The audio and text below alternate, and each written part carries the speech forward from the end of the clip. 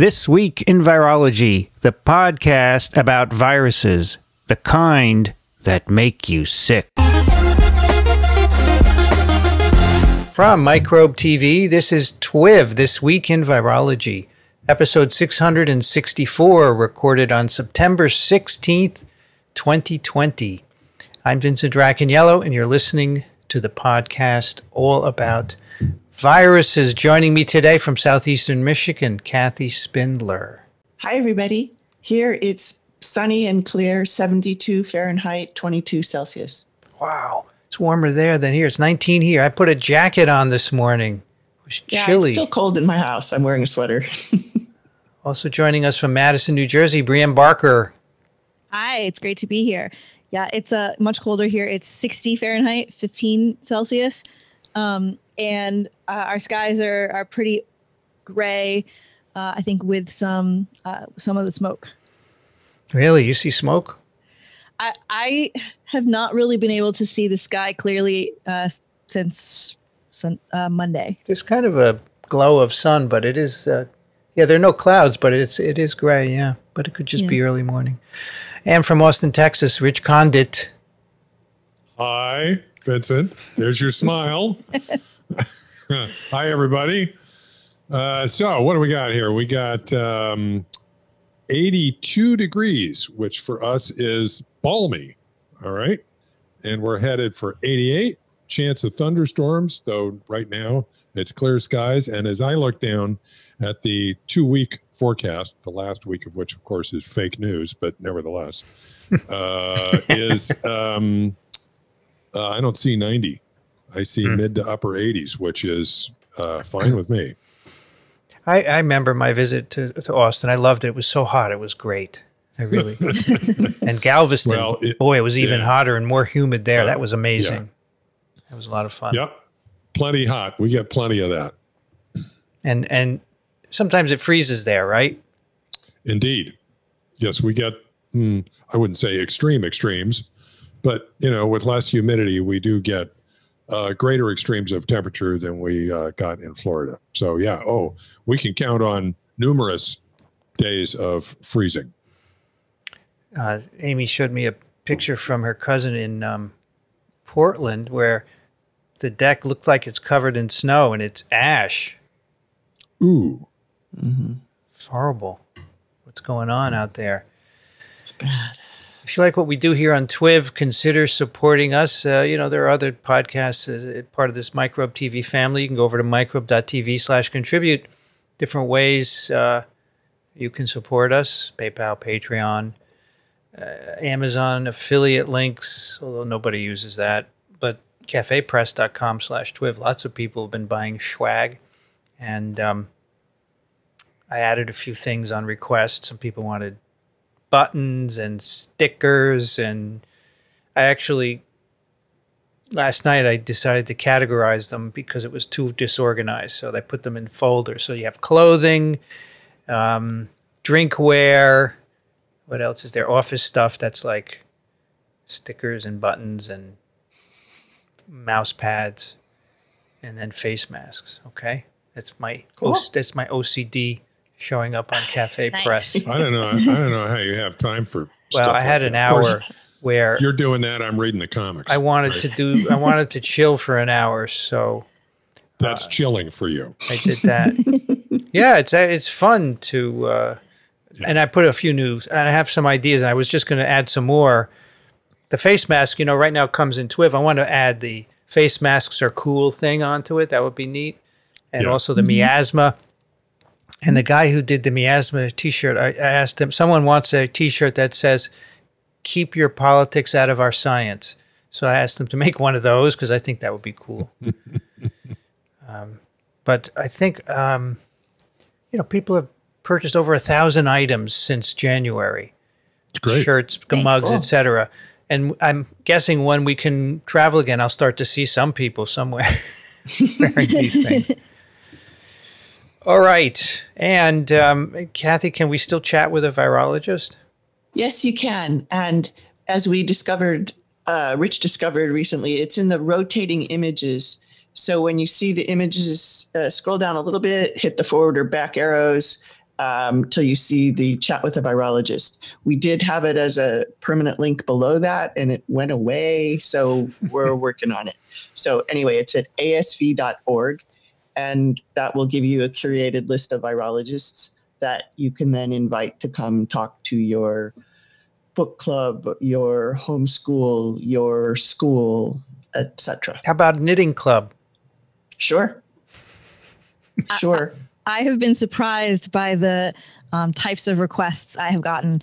Um, I have a group of lawyers um, and a, um, a kids club um, and an English class.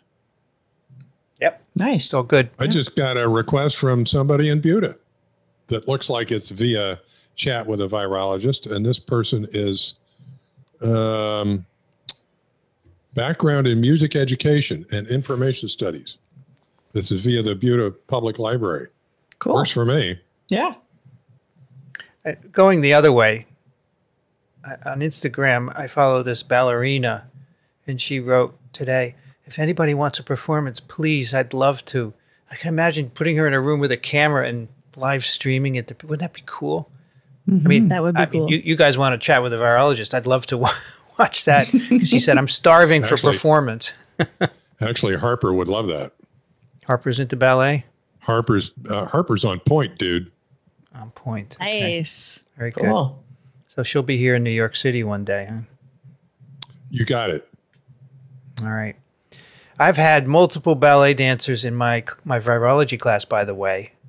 Um, one year, I mean, a couple of students who were studying, and then one year I had a dancer who actually was a dancer with the New York City Ballet, and uh, she was great. She she did really well in the course. She wanted to apply to medical school because she said, you know, we can't dance forever. we are we're, we break physically, and so she ended up getting into medical school.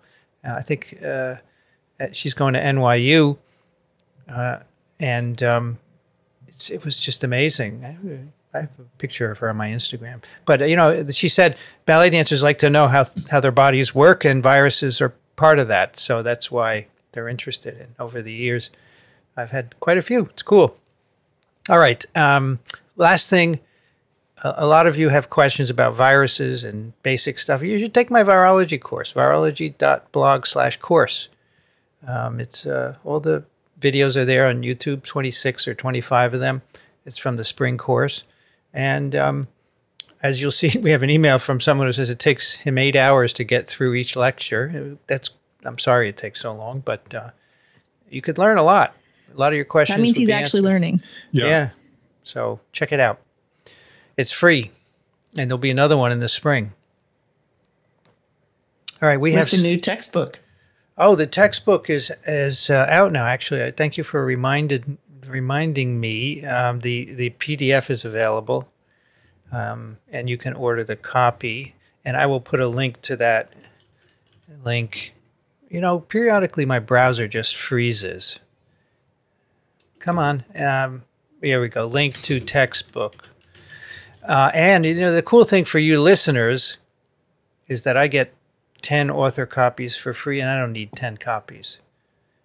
Uh, so I will give eight of them away. We'll have some kind of contest. I think that's how we did our haiku or verse contest last time, right? I think Yeah. so. I think that we used to give things away, and once we had a, an essay that was too long. we decided to try verse, It's like grading which papers. yeah, it's too long, but verse works really well, and that's how we got in touch with Jolene. She she wrote winning verse. So anyway, we will give away 10, eight eight copies. Um, so it is unfortunately uh, one hundred eighty dollars for two volumes. So if you want to wait, check it out. Okay, now we have a couple of things here today to talk about. Uh, the first is a um, an article over at Nature by Ewan Calloway. Would you say Ewan or Ewan? How do you say E W E I N? would say Ewan. Ewan, who I want to commend. Ewan, you did a great job at making a balanced view of this. This is the title is The Coronavirus is Mutating. Does it matter? Different SARS CoV 2 strains Now, there you go. There's no strains yet. Sorry. Yeah, I was going to uh, ask you to refresh the vocabulary there. Different SARS CoV 2 isolates haven't yet had a major impact on the course of the pandemic, but they might in the future. And that's absolutely true. And this is a discussion of um, all the different changes. So remember, the genome of SARS CoV 2 is about 29,900 bases in length. And there have been 90,000 isolates sequenced and made public so far at gisaid.org.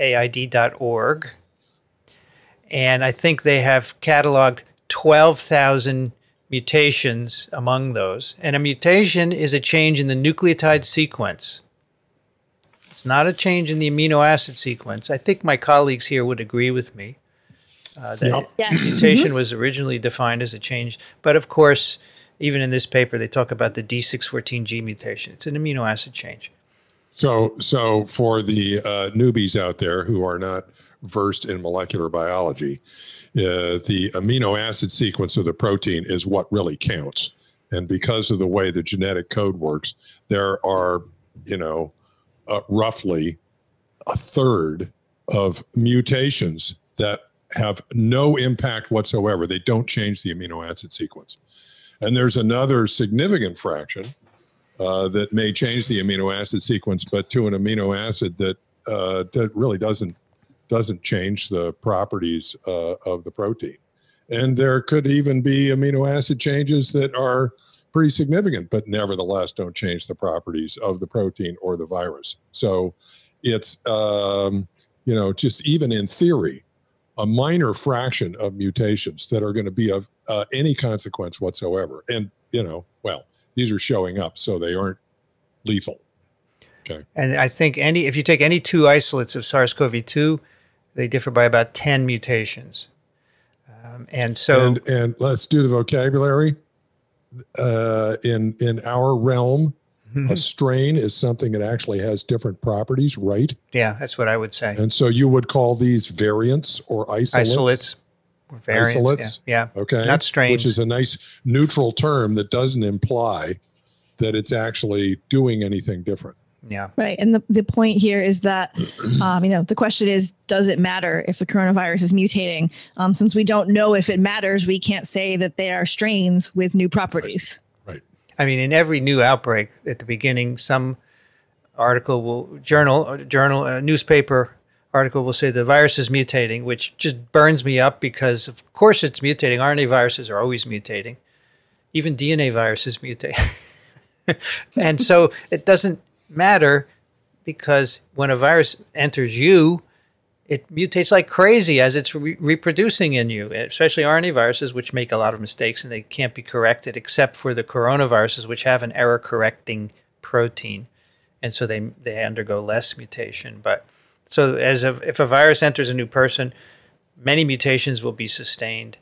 Uh, many of them are lethal. They knock out virus reproduction. Many of them make it less fit so that it will not transmit efficiency to another person. Many of them are neutral and are passed along. And we call that a founder effect. So if a mutation arises in one person and they propagate, they're just there because they're not having a negative effect. Now, there can be mutations that have a positive impact on some property, but we haven't seen any of those yet, and that's what this article is about. And they focus on this single amino acid change in the spike that arose uh, back in January, February. And since now, it's uh, as of now, and there's a nice graph of this, the frequency, it's in every isolate globally. And many authors have uh, claimed that this is because it increases transmission. In fact, uh, there was a, a, preprint a few months ago on this, which we discussed. And in the title, they had an alarming spread. This mutation causes an alarming spread. And they talk about that and they say, yeah, we shouldn't have said it was alarming. we took it out of the title when it was published because it has minor effects in cell culture, but there's no evidence that has any effect in people. And so, if you want to claim that a change like D614G has an effect in people, you have to provide evidence biological evidence. Uh, there certainly is not changing pathogenicity.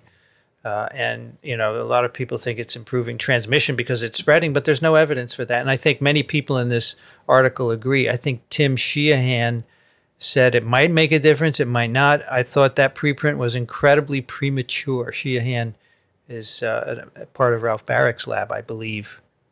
Uh, is that? I hope I hope I got that right. He's at UNC. UNC, uh, and um, so go ahead, Kathy. Well, I was going to say they do mention two things. One is a September 2nd preprint, and one is another thing from uh, Andrew Rambeau. And Mhm. he has that uh, site it's called something Virological, right? virological. And so maybe it's on that site. I didn't have time to look at those that are starting to hint that uh, they're looking at uh, viruses with a mutation in um, a human lung cell line and airway tissues. Uh, that's the uh, preprint from somewhere. I didn't, as I said, I didn't look it up, but you can check it out in this article. And then uh, the one from uh, Rambeau, Volts, and Connor is based on uh, 25,000 viral samples. Um, no clinical differences in people infected with either virus, but the G viruses tended to transmit slightly faster than lineages that didn't carry the change and formed larger clusters of infections. So, uh, but this paper isn't citing that as being even a preprint yet. But again, maybe it's on virological. Yeah, and the end of that paragraph I think is really interesting. It says the estimates of the difference in transmission hover around 20%. Um, Volt says, but the true value could be higher or lower. Um, there's not a large effect in absolute terms, says Rambo. So um, it's Um, not coming out to be anything really consequential. So a proponent of this is Jeremy Luban, who I've had offline conversations about this. He says, all of us agree that D2G is making the particles more infectious, but this is in cell culture. Uh, and N- Nathan Grubau says, what's irritating are people taking their results in very controlled settings, that means in cell culture in the laboratory, and saying this means something for the pandemic that we are so far from knowing. We are so far away from knowing. Uh, so I, I thought it was balanced because he spoke to people on multiple sides and got their opinions. And, you know, in the end, um, it's not clear, but we should keep an eye on it. Sure, I think that's fine. But, you know, the we said here on Twitter that original preprint saying it's alarming was just out of control. It was just, there's no reason to say it's alarming. The uh, uh, the article is nice too because uh, he gets all the science right, and it's got does, nice yeah. diagrams of the uh, what the mutation means and what the amino acid changes are, and the spike protein and where it is, and all that kind of stuff, uh, and the mutation rate in the virus and everything else. So it's a really nice summary of of this whole thing. Yeah, and um, I, so Ewan, I thank you for a balanced view. I wish everything in nature were as balanced, but um, you know we take it one step at a time. Anyway, this is open access. You can everyone can see this as well, so you can read. It was published September eighth. Very nice. All right, and then then um, a paper published in um, Nature Medicine, a brief communication, which I think is really important. Um, and it's not about SARS CoV 2, but it is about seasonal coronaviruses. Uh, it's called Seasonal Coronavirus Protective Immunity is Short Lasting. And this is a group out of uh, University of Amsterdam, um, University of Antwerp, uh, an institution in Madrid. Um, and the first, the authors are Edridge, Kozaraska, Host, Baker, Klein, Loans, Jebink, Bat- Matzer, Kinsella, Rueda, Levin, Goosens, Prince, Sastra, Day, and Vanderhoek.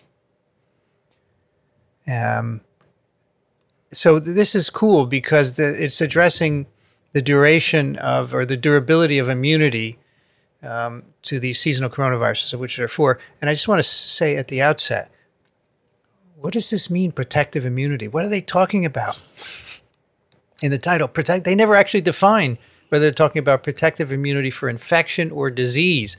It turns out it's for disease because uh, these individuals uh, are infected over and over again, as you'll see.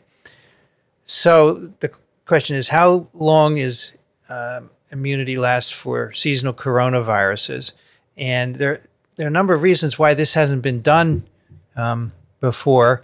Um, these infections are typically asymptomatic, so you'd have to just screen lots and lots of people, right, to get ones who are infected, and you'd have to sample them continuously. So they say PCR isn't a great solution to asking this, answering this question. Um, but you could use serological assays because it's already known that antibodies remain elevated for about a year after infection. Other studies have already shown that. So what they did, they took serum samples from the Amsterdam cohort studies on HIV-1 infection and AIDS.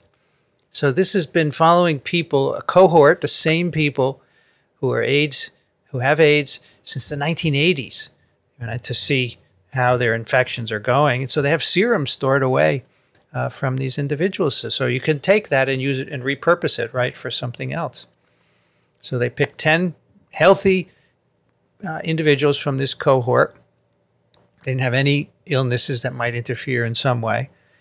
And they had uh, blood stored uh, that had been collected every three months between uh, before 1989 and then every six months afterwards. You know, great a great resource, right? And this is you don't have to reinvent the wheel. You can just use what's there. And so then they designed a um, ELISA assay for a, a, region of the nuclear capsid protein for each of the four seasonal coronaviruses NL63, 229E, OC43, and HKU1. And more, another series of names that rolled right off the tongue, right? Not as nice as SARS CoV 2, I think, but that's what they are. two of those were first discovered in the 60s, the first human coronaviruses discovered. And then the second two were discovered after SARS when people started looking harder for uh, other human coronaviruses. So now we have four. I just focused in on the bottom here to, that they have a measles virus control, which mm-hmm. is kind of cool. Mm-hmm. I like that as a control. Right. So then they can say, okay, what uh, over these samples, which are every three months, how often do we see spikes in antibody, rises in antibody, or what, what are the kinetics of antibody? Does it go up? Does it go down? What is what happens?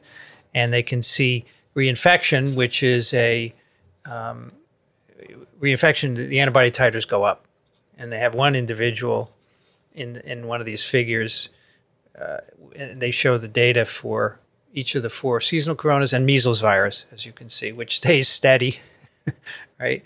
And then the coronaviruses, the antibodies go down and then they go up and then they go down and then they go up. And basically, reinfection times uh, as little as every six months, 12 months or longer. So I want to I want to be uh, clear here. Uh, the only actual measurements here are antibodies. That's right. To these viruses, mm-hmm. right? Yep. And there's no reporting of disease or anything else. No right? Correct. That's and right. so the the spike in antibody for any particular virus implies that they've been infected, but there's no yeah, assay right. for virus or anything. There's no thing about uh, disease. I think it's a perfectly valid interpretation that they've been uh, uh, reinfected. But yeah, those yeah. are the data. Just the antibodies. That's right, because yeah, these exactly. are blood samples, right? So there's no way you're going to do PCR and find these viruses in the blood. These are upper right. tract infections. So, right. Yes, I think that's a reasonable assumption, right, Brianne? That oh yeah, yeah, absolutely. I think it's a reasonable assumption. Um, I think that you know maybe there could have been um, really uh, slight infections um, with a low amount of virus that wouldn't mm-hmm. uh, bump the antibodies up. Yeah, so I would say that maybe this is, if anything, a slight underestimate. Yeah, yeah of sure. infection. Um, but I think that this is a reasonable um, way to answer this question, which would be really hard to answer in any other way. And I think the measles virus control is great because that's just a flat line. Yep. And you can yep. see how these uh, vary relative to that. And it gives you, you know, it's not like your immune system is got this sort of chatter going on all the time. If you look at another uh, pathogen that you know doesn't reinfect, you get a flat line. Now, the measles is flat because these people were not infected with measles. virus, right? They're Uh, all right. probably vaccinated, right? Right. And so I I- I don't know the answer to this whether measles vaccine is sterilizing or not if you but I would assume you would see a, a bump in antibody if you got infected and the, and the vaccine immunity kicked in, right? They Yeah. don't see that. So the you know measles is relatively rare even though there are cases and especially in the Netherlands there are cases because they have a cohort of anti-vaxxers who do not immunize their kids and they get measles, but they're mostly kids and, and these are adults. So Right. Those were in the Michael Minna study that was on immune that's right. that's right. last November. they right. they also mentioned that they specifically use patients who hadn't had a disease Yeah. um, that would exclude them. And so you would imagine that people who were reinfected with measles in this HIV cohort would have been symptomatic. There are subtleties to these data too that are that interest me in particular. I mean, we could talk about several, but in particular, and I think they comment on this. Uh, this one patient in, um, for those who might be, well, we don't have this shared, but that's okay. There's this one patient infected with, uh, or where they're assaying for HKU1, Mhm. who in about 2007 shows a spike and it stays up. Yeah, it does. Okay. Weird. It's weird. Yeah. So I had a little trouble with figure 1B. I'm, I'm sorry to call out a figure because I know people are listening, but the title of this is The Interval Between Reinfections Determined for the 10 Individuals. And this is a graph where on the y axis they have uh, the, each of the individual viruses and then a total. And on the x axis, time between infections. And you see dots of different colors orange, white, red, blue, and green, and purple. But that doesn't add up to 10. So th- did they just add all the, the 10 individuals together for Yeah, each virus, you think? So this is sort of any time there was a reinfection Yeah. um, in any individual. So we're not stratifying by individual, it's just by virus here.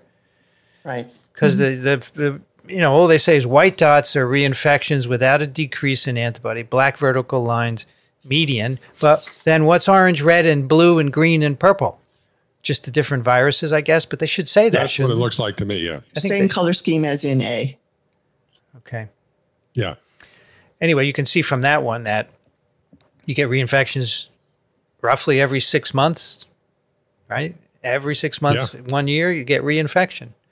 Um, it can be longer for some of the viruses and in the hku1 there are only two reinfections i guess right?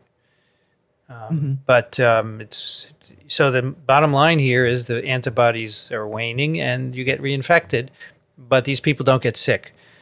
So immunity they're, they're getting infected so we're not talking about immunity to infection we're talking about immunity to disease right Yeah. Right. Yeah. An, an important distinction to make in the current climate. And also, once again, for uh, the newbies, I I think this is a humans and other species as well, but we'll talk about humans are have an uh, basically an equilibrium experience with lots of different viruses. Okay. mm-hmm. Uh, and those equilibrium experiences take different forms. Yeah. Okay. In herpes viruses, we may have latency. Uh, in other cases, there may be persistent infections and et cetera. But, you know, uh, over the long haul, we learn how to live with these things. Okay.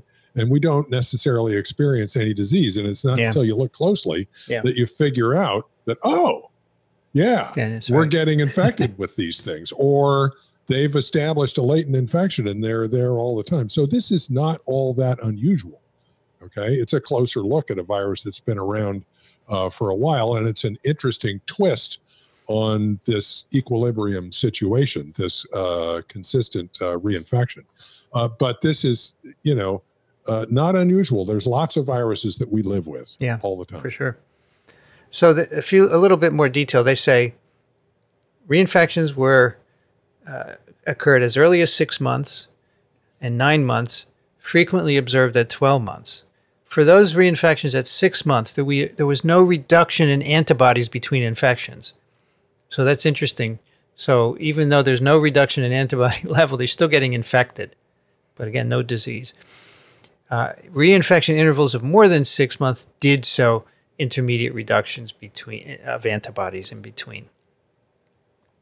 So they conclude the earliest time point for reinfection is six months. So, you know, even in some cases where these individuals had the same level of antibodies, it didn't go down, they still got reinfected. so that's interesting. But they don't get sick. And that's the key here that we may, and if any of this is extrapolatable to, uh, is that a word, extrapolatable? It is now. It is. To SARS CoV 2, that would suggest that we're not going to have immunity to infection. We, we may have immunity to disease, either conferred by natural infection or by the vaccine.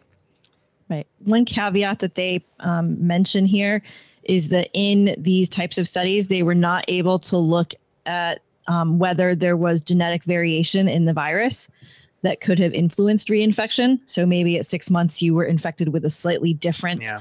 Um, strain of the virus genetically or different isolate of the virus genetically. Yeah. Um, and so they they do point out that they were not able to look at that in this type of study, um, and so that's one variable that's not sort of Right.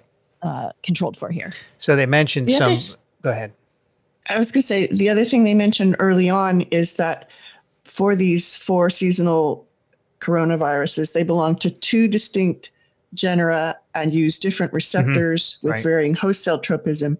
And so they consider that to be pretty broadly uh, variable. And so they say we hypothesize that the characteristics shared by these four seasonal coronaviruses, such as the duration of protective immunity, are representative of all human coronaviruses, including SARS-CoV-2. So Yeah. they're kind of extrapolating uh, to that, or making that assumption or hypothesis um, that this these. I, didn't really appreciate that before that the seasonal coronaviruses really are in two different Right. genera and, and not all that much like each other. Yeah. But if they, if you're finding a property that's similar among them, then maybe that extends to Yeah. Yep. SARS-CoV-2. That's a good point. So, in fact, yeah, I can tell you because yesterday I lectured medical students about coronaviruses. So, 229E and NL63 are members of the alpha coronavirus genus, and OC43, HKU1, SARS, MERS, and SARS CoV 2 are all beta coronaviruses.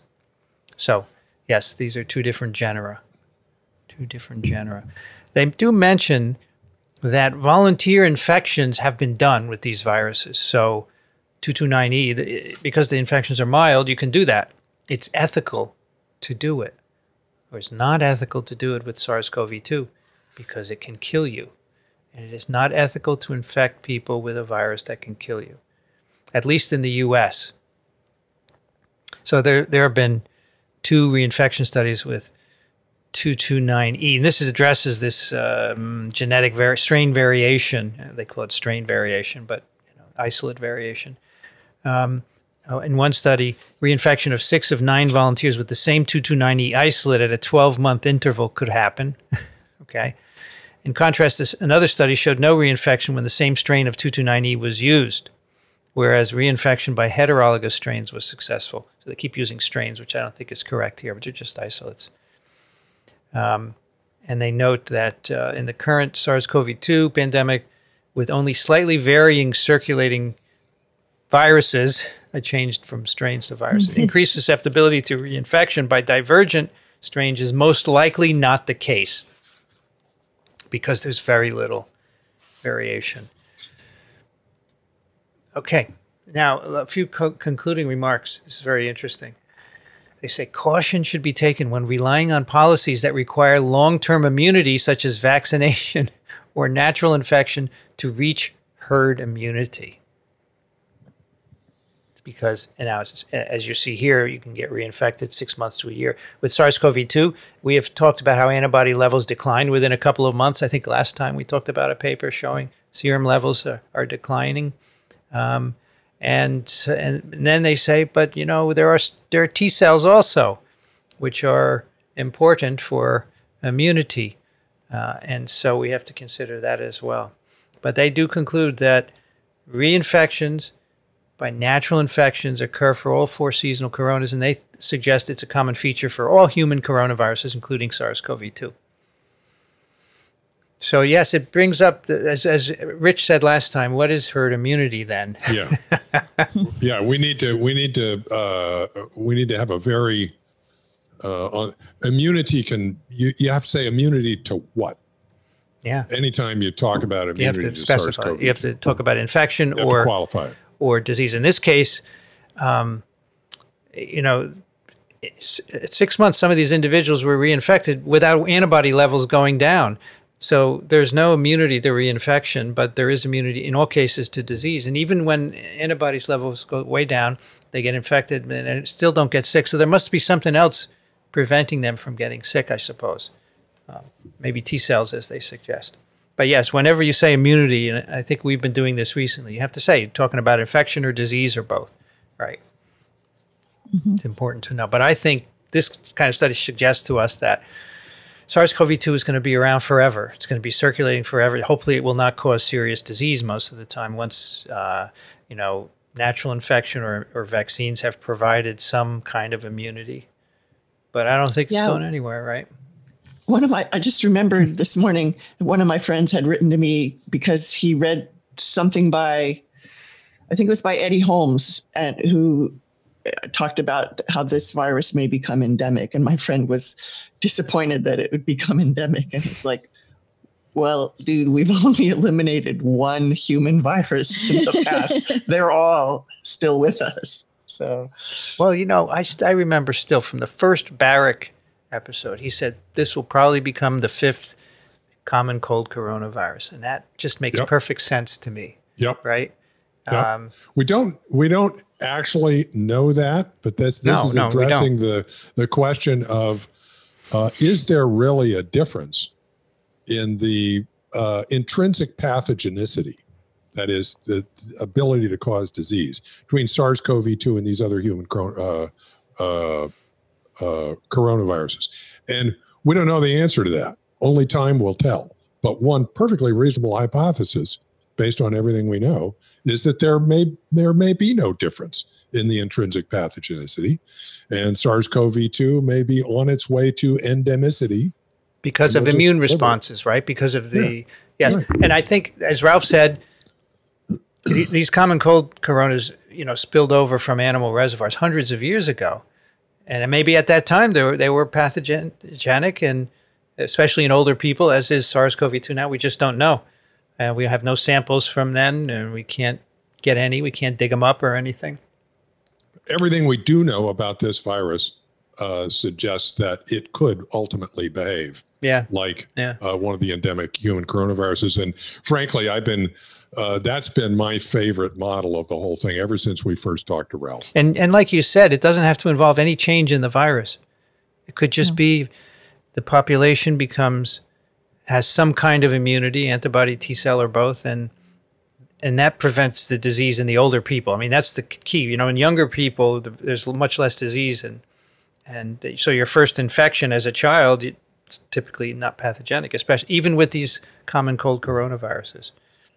I'd really like to know why children don't get sick or get much less sick Yeah. because that's also key to the whole thing. There must be I on mean, some sir, you know, islands. when you're when you're really an old guy, like and your telomeres are short, like me, okay, then you know, yeah, your immunity starts to crash. All right, and so that makes kind of sense. But you know, generally, people who are forty or fifty are are are you immune senescent by then? I mean, the I, beginning, I Brienne? guess. i think it Depends on- starts going downhill at around 30 Yeah, Oh, it kinda- boy. It depends on um, what you're how you're defining immune senescence, um, Okay. which aspect of the immune response um, you're talking about. But remember, I guess once we've uh, raised our kids to the point that they can feed themselves, nature really doesn't give a hoot anymore, right? Well, on an evolutionary we're scale. dispensable Actually, right? nature doesn't care until they re- Uh, reproduce. And once they've reproduced, that's it. That's Yeah. all you need. All everything Right. else is gravy. But Right. Rich, not every virus in a kid is not pathogenic. You know, many virus Oh, infections absolutely. hurt kids. So this is different. It's always Absolutely. different, right? Yeah. It's the same. Very interesting stuff. Okay, um, unfortunately, the you know the three of the four of us will not be around long enough to see uh, maybe if this becomes this going to, and that's the thing we don't know how long it took the No. current seasonal coronaviruses to become yeah, endemic as you Right. I know you have said it could take 50 100 years or more who knows yeah I agree it would be so interesting to know more about that sort of historically and to know, you know, if there had been. I I I wish there was a way to know more about that. I had had a thought for something we can't do, but there must be on some island somewhere people who have never been infected with common cold coronaviruses as a child or ever. And I wonder if they got infected, whether that would be a severe disease in them, because that's kind of what we're postulating here, right? Uh, the other thing is that I uh, presume, and I think I have read in places, that um, infection with uh, com- the endemic human coronaviruses uh, can cause serious disease sometimes. All right. And I'd be interested to know the circumstances there. I mean, it's hard to imagine that an adult could avoid these things. Well, if they're immunosuppressed and have never made an Yeah, immune response sure. to it, then they could, Yeah. yeah. Or if you're on an immunosuppressive drug and you and you're older, yeah, it could be, yeah. Okay. All right. Now, finally, the last uh, document that we have here. Many, many Document's listeners. a good word. A document. That's what it is. A document was sent to me by a number of people yesterday, and many listeners got at least 20 different emails saying, you need to address this. And I really find it unfortunate that we have to because it's just going to take time that we could do more productively with something else, but we have to do it. Plus, it gives it air, which we prefer not to do, but it's getting air already. Yeah, so and, and people want to know because as as many people say, this looks okay to me. What do you think? I'm not a scientist. You know, it's a 26 page document with lots of words and figures and data supposedly, and it kind of looks authoritative. But as you, Oh, it as- looks very authoritative. as- we got diagrams, we got models of the spike protein, we got nucleic acid sequence, we got mutations, got the whole shebang. we got a reference section although when Yeah. you go to look at it about 50% of the things or more are just preprints or a website or Yeah, something lots of like that. websites. Yeah. So uh, it is a 26 page document which uh, is called Unusual Features of the SARS CoV 2 Genome Suggesting Sophisticated Laboratory Modification Rather Than Natural Evolution and Delineation of Its Probable Synthetic Root. And the authors are Yan, Kang, Guan, and Hu. And they are from the Rule of Law Society and Rule of Law Foundation, New York, New York, USA and there's a email there that you could email the authors from and you know my just reading the title i mean this is not a title of an article that would ever appear uh, in, in a journal and as you in the you know the abstract and the introduction is just written in a way that just says everything else is nonsense and what we're going to tell you is really what happened and I want to go through it in a, a little bit of detail. But as we'll say, to, as we'll tell you, the data are not at all conclusive. It's really nothing different from what we talked about months ago, and in which has been debunked in, in published articles and so forth. And that's why it's unfortunate that we have to go go through this. But a, a kind of an interesting thing where you can just put out a what's apparently a um, a definitive looking document. And, and some of these authors are apparently scientists. I think the first author was a former coronavirus person. I don't know what this the society or law foundation is. Um, Actually, I have some information on that, but we can we can come back to that. Uh, so, all right. So people have said to me, please give it fair uh, consideration. So we'll give it a fair consideration. All right. So basically, the idea here is that this virus was engineered in a laboratory, and they purport to give evidence for that. And I will just say up front, there's no evidence for it whatsoever. There's more evidence that this came from nature. We've talked about this multiple times on TWIV. There's really good evidence. What they have here are accusations that are not founded in any way. And I will go through. We will go through and uh, we'll we'll talk about it. And let me just a few a few ideas from the from the abstract and the introduction. They say, due to it, despite its tremendous impact, the origin of SARS-CoV-2 has mis- remained mysterious and controversial. No, it's not mysterious and controversial. We have wonderful evidence, genomic evidence, that it came from a bat isolate and that is a recombinant of many different viruses, and the lineage tracks back decades. We did a paper not too long ago showing that. It's very clear. So this is a this is a way of using words to kind of start to, you know, get in between your your sensibility and say, oh, maybe maybe they're right. The natural origin theory, although widely accepted, lacks substantial support. I don't know. Every virologist I know is okay with it. I don't know who right. you're talking That's, about here. That, that, statement is not true. Right. Uh, the alternative theory that the virus may have come from a lab is censored on peer reviewed scientific journal. No, it is not censored. It is rejected because all the manuscripts don't have any support for it. Isn't that a horrible That's way to say review is. censored? I mean, and, and and to a person who's not familiar with the scientific process, they always say, "Oh my God, they're being censored." Really? no, it's just okay. peer review. Um, in my typical way, I'm going to be pedantic about the writing. Uh, I wanted to point out earlier that the title would be better with a comma after the word evolution because it's two independent clauses. And here, the first sentence about the natural origin theory, um, da da da, and the alternative theory is censored. They're they're not even parallel yeah. yeah. There are lots of writing issues here. It's a problem.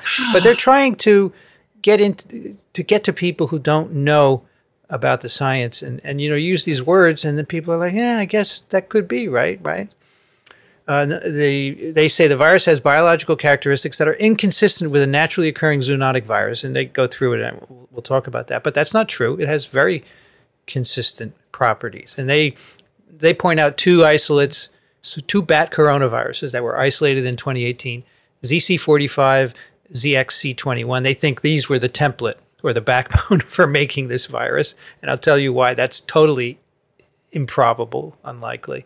And then, of course, they say we, we have to investigate. In the end, they say the lab should be investigated for sure because we have to prevent this in the future. So there's some, in my view, because there's very little scientific support for their idea, I think there's some there's something else behind this paper that I don't understand.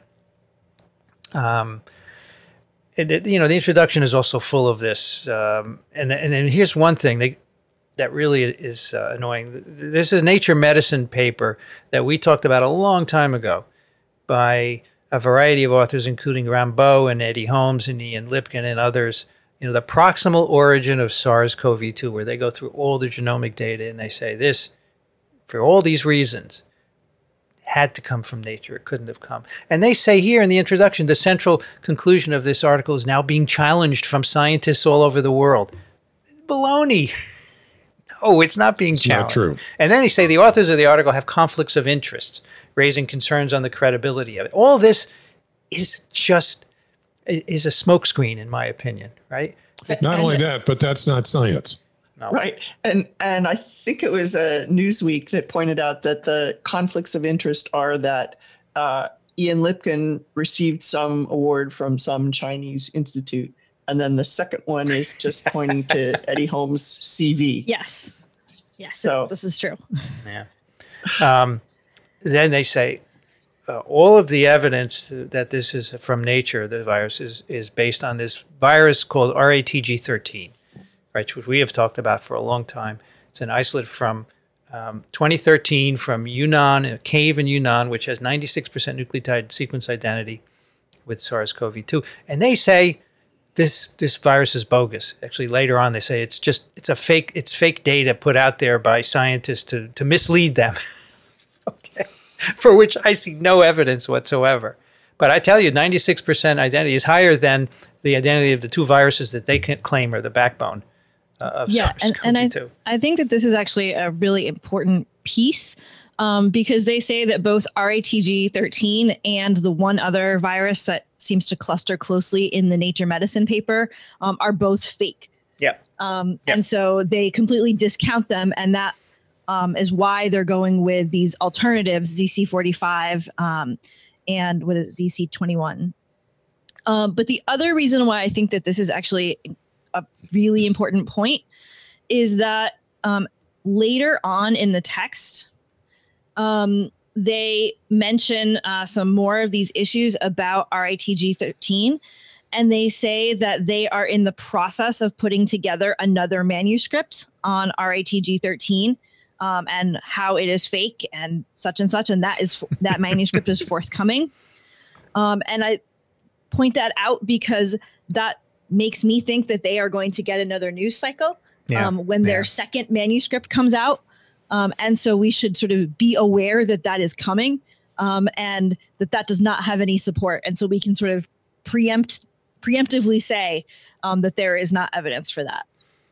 So the uh, one of the ways I look at this is that the difference between science, one of the differences between science and pseudoscience, is that in pseudoscience you start with the conclusion that you want, and then you cherry pick the data Mhm. to support that conclusion with a complete unwillingness to change anything about the conclusion. In real science, you may start with a hypothesis and then you examine the data in an unbiased, uh, unbiased fashion. And if the data do, don't support your hypothesis, you Mm. modify the hypothesis. And then, uh, you know, it's a reiterative process. You go through that. Now, in this case, being pseudoscience, okay, they have their conclusion that this thing is fake. And in order for that to work, they have to say that the RATG 13 virus is fake because otherwise their hypothesis doesn't work. As we've Yeah, already said, yeah. there's no evidence for that, but they have to throw out that virus. Okay. Uh, otherwise, the whole thing crashes. You know, the, what's what's amusing is that RATG 13 was originally supposedly the backbone of SARS-CoV-2 until people pointed out, you know, 4% difference is a lot of bases in a mm-hmm. 30,000 base genome. It's not likely. And they're scattered all over. Why would someone change them all to SARS-CoV? It doesn't make any sense. And now they're picking two viruses, which they say are the backbone uh, these uh, ZC45 and ZXC21. And by the way, RATG13, its provenance is very clear in the literature. You can find the original isolation. Peter Daszak talked about it. His organization was involved.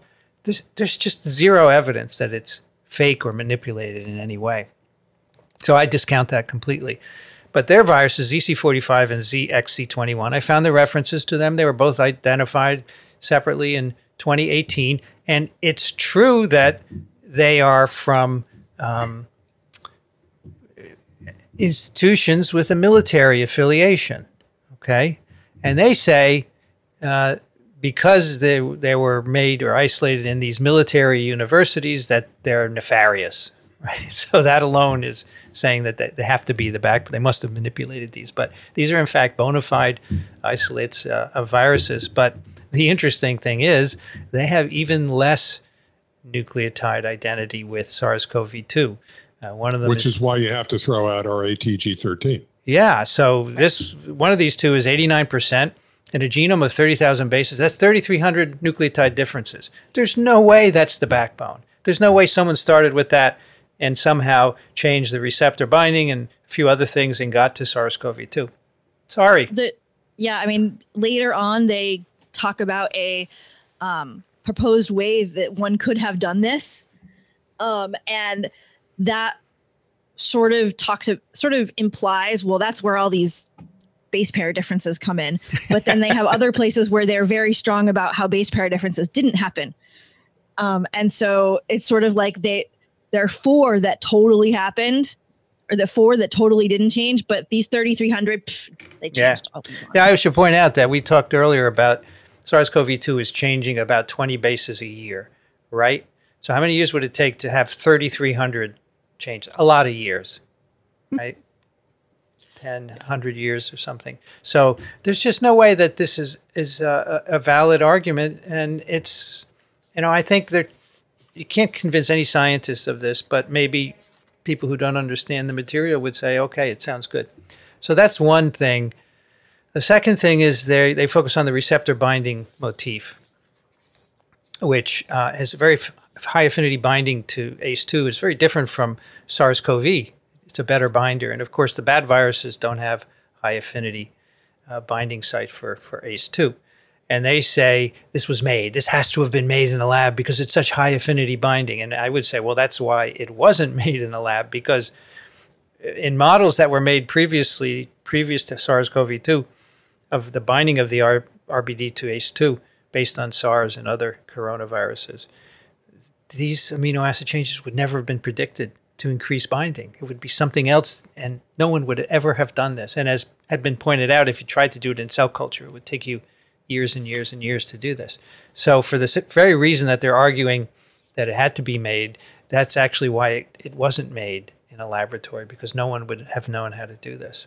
Yeah, so they sort of have this argument that um, this receptor binding motif of SARS-CoV-2 doesn't bind as well to bat, um, and so it could definitely not have come from bat because it binds so poorly to bats. Um, and bat, there would never be a virus in bats that um, has a receptor binding motif that binds poorly to bats. Um, but I think that one thing people should also think about is that this is a part of the virus that um, tends to change um, a fair amount because this is the part where antibodies are um, binding. And so there is actually some selection for variation here. And in fact, it's quite likely that you would get changes in the virus, some that might bind better, some that might bind worse to bats in the bat as the virus is trying to avoid the bat's immune system. I also think that these high affinity changes just arise randomly. And we talked about this with Rahul Rabadhan. They, they arise randomly because it doesn't matter for the virus in bats if, if you have high affinity ACE2 binding. And then if this virus happens to encounter a human, then it replicates very well. And maybe an additional change is selected, who knows? But there ha- doesn't have to be a selection for this right. high affinity binding site. Uh, you raise another uh, question that I was going to pose, and that is we don't really know when this spillover happened. No, right? we don't. No. Okay, so there's it's possible uh, correct me if I'm wrong, but it seems to me possible that in, in fact it spilled over decades ago. And some of yeah. the uh, maturation of affinity for the human uh, uh, receptor happened in the human population. It could be, sure. It could be, for sure. We don't know. But that's why we need to do more sampling. And apparently, this is not being done very much these days. So that's a problem. And then the final thing, which is a key part of their argument, they say there's this furin cleavage site in the spike. It's a cleavage site for a cell protease, right? It's they say this is definitely put in by a human because it is not in any bat coronavirus, and this is key to reproduction in human cells. Well, that statement is wrong. There's a paper that we discussed uh, a while ago in Current Biology describing this isolate RMYNO2, which also has high nucleotide identity with SARS-CoV-2. Uh, and I quote from the last sentence of the abstract critically, and in a manner similar to SARS CoV 2, RMYNO2 was characterized by the insertion of multiple amino acids at the junction site of the S1 and S2 subunits of spike. This provides strong evidence that such insertion events can occur naturally in animal beta coronaviruses. So their statement that furin sites are never found is wrong. And that's a key part of their argument. And then finally, one last thing they say, oh, look, there's a restriction site on either side of the gene for the re- receptor binding domain. They could have used that. Yeah, the restriction sites are everywhere. it doesn't mean a and, darn. And in thing. this day and age, if you really wanted to be doing engineering, you probably wouldn't be doing it with restriction sites. There's that's right. You'd be doing PCR, right? Ways. Yeah, I mean, for sure. Three right. of us might choose to do it that way, but Brianne, yeah, our, us old guys, yeah. Uh, I, I, would um, use a Gibson assembly, which would not leave any restriction sites. Um, and I think that there are sort of a couple things to say. One, if having restriction sites in a genome mean that something is engineered, then E. coli is engineered. Um, Oh no! Are you our, are you accusing that, Debris? As are most uh, microbes and most organisms, um, but the restriction site thing I think is is a really uh, important part of the cherry picking because earlier they say, oh well, those 3,300 mutations in the backbone just happened during passage. No, but somehow the restriction sites absolutely didn't mutate. And there are also two codons that they say are, are um, unusual codons um, somewhere else, and those managed to not mutate, but 3,300 other random things yeah. totally Yeah, this is not. And, you know, the thing that's it's unfortunate is that apparently this first author has some virological experience, and so for her to say these things, I, it's either intention or ignorance. I don't know which one. It's very sad because you Hard know, to know what the motivation is, except that you get airtime. I don't know what the You get your motivation is here. But anyway, so the, basically all these arguments were made before. They're not correct. Uh, there's nothing new here. Um, and I think you should take it as an, another uh, attempt at getting attention. And, and I'm not sure what the motive is, but it's not correct. This virus came from nature. It didn't come from any laboratory. Well, I have a little bit of. I consulted a friend of mine Mhm. uh, who might have some. I thought might have some insight into uh, both the organization, the affiliation that these people talk about, and the individual uh, herself. Uh, and if I could just Mhm. spend a moment on that, he says he doesn't know anything about the foundation. Appears to be one of the organizations founded by Miles Gao, Wengui Gao, a shady Chinese businessman, and he gives a Wikipedia link to it that's actually quite interesting. I read that. Uh, Gao's uh, photos prominently displayed on the website. Uh, Gao is a crook and had become a billionaire real estate developer in China through shady business practices, including using bribes and taking advantages of a close connection to the Chinese intelligence agencies. Uh, after Xi came to power and uh, the Chinese officials who were close to Gao lost out in the power reshuffle, the Chinese authorities started to investigate the business dealings uh, by Miles Gao. He narrowly escaped China and then turned into an activist, first against some Chinese officials and then the entire Chinese government. He has a YouTube channel, and his videos are full of rumors and lies about his enemies, which are now mainly uh, the Chinese government. Uh, before Steve Bannon was uh, indicted, Bannon stayed in a yacht owned by Gao and appeared frequently in Gao's YouTube videos. I don't believe anything from Gao or any organizations associated with him.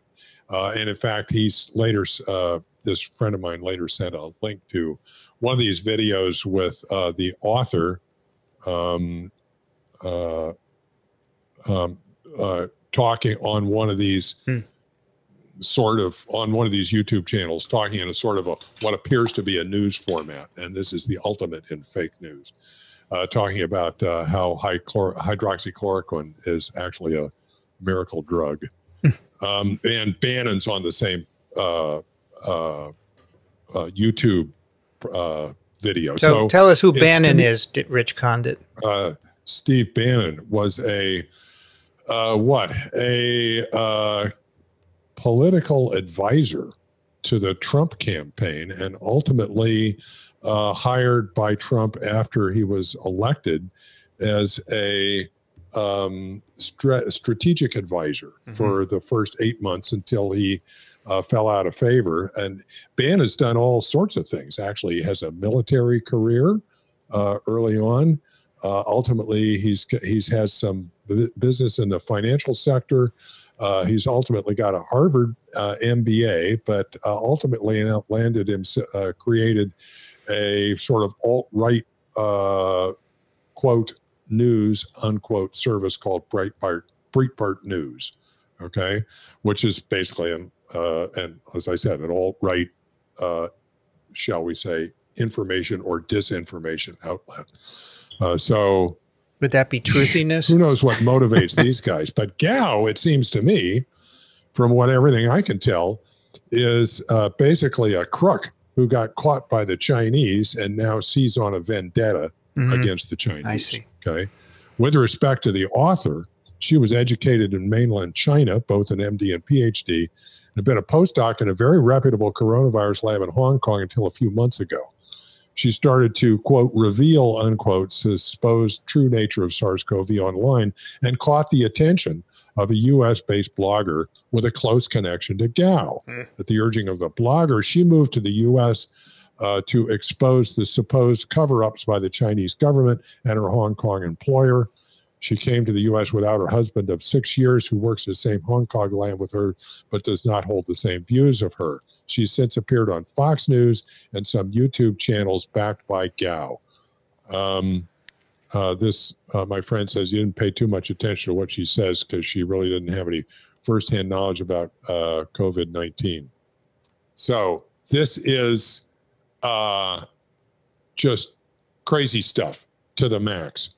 So, uh, listener Tim had sent in similar stuff, and he said this paper was originally posted on Zenodo, a website which is basically a publicly available repository of science and academic research to which anyone can upload their work.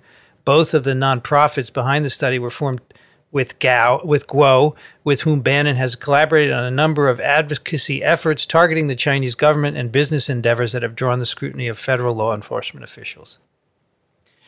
So, uh, the Rule of Law Foundation is a 501c3, which is a type of nonprofit. And then there's the Rule of Law Society, 501c4. Hmm. And uh, Steve Bannon serves as the chairman of the 501c4.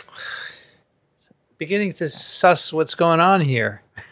yeah. Um, and uh, the uh, the website of the organization says uh, their vision is to permit the people of China to live under a national system based on the rule of law, independent of the political system of the People's Republic of China.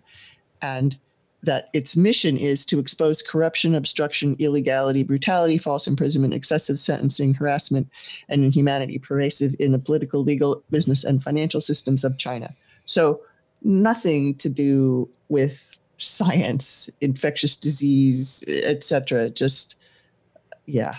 This is strictly radical politics. Yeah. Should we say keep your politics out of our science? yeah. yes.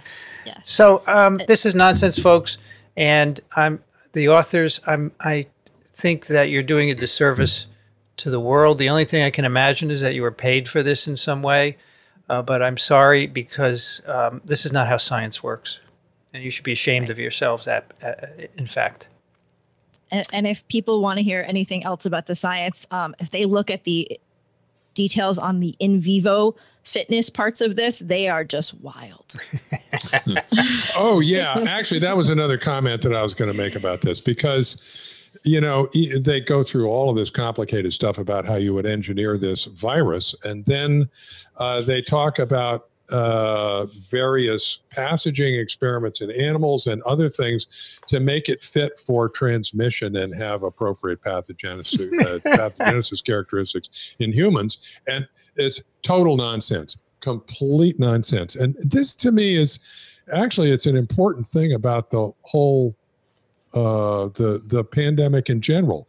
We don't know what makes this virus transmissible in humans, really as transmissible it is, we don't know what controls the pathogenesis. And so, if you wanted to create something that had the characteristics of this in humans, you wouldn't know how to do it. And passaging it in animals is not going to do it. Okay. That's going to give you fitness in that animal, but probably not necessarily.